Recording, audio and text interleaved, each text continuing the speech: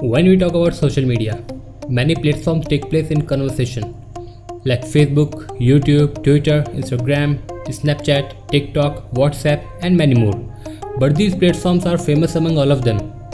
What if all these social media platforms just gone, or vanished, or banned completely? As new IT law 2021 implemented in India, and Facebook, WhatsApp, Twitter, and other networking sites could be banned here. Well, social media is a part of our life. It would be quite tough to live without it. Because there are almost 4 billion users of social media, and each person having almost 6 to 8 accounts on different social media platforms.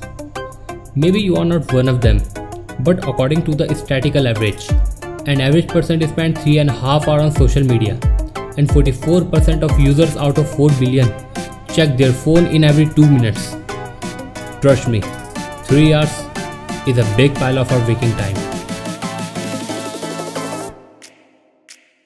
Well, social media is not only about chatting with friends, posting photos and videos, but now social media performing a massive role in the field of digital media. Because we are using social media on every level. Like an individual using it, businessman using for financial purpose, even government also using it for their purposes.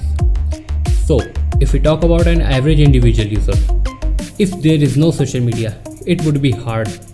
Because social media is helping us to perform many tasks like learning, education, keeping us stay connected with family and friends, keep updating us about trend and fashion and technology. But not everything is good about social media because report says it is affecting our mental health, giving us depression and anxiety. Cause social media lets you see the carefully selected best parts of everyone else's lives, which we compare to the negatives in our life. Not only depression, but things like filter on picture directly says you are not beautiful. That's why you need me. For financial users, social media platforms are like real business now. Only Facebook earned almost 70 billion US dollar in form of revenue amount in year 2020. If social media banned forever, then many companies like Facebook, Twitter, Google will be bankrupt and thousands of people who work for social media companies will be lost their jobs.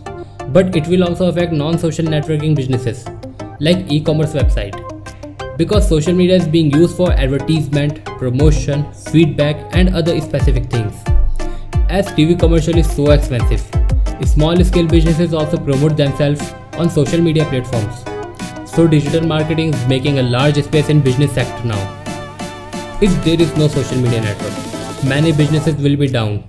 A huge group of people will be unemployed.